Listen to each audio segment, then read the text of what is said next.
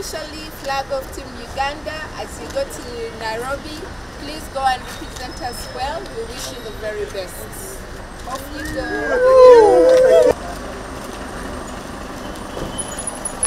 We are here today to flag of 50, 50 Ugandans who are going to take part in the Grand uh, Nairobi race. It's a cycling event, an, an event that is uh, sponsored by Jubilee Holdings in Kenya.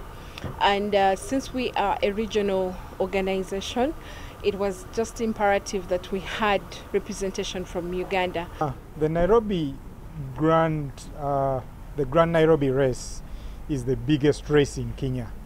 It is uh, a race that um, uh, has all categories of riders. It has our local bicycles as you know them, the Heroes, the Phoenix. That category is called Black Mamba and uh, Uganda is taking 11 riders in that category. We have the elite category, uh, we have uh, the riders under 23, which is a key category in, in, in cycling development. And then we also have a category for fun riders.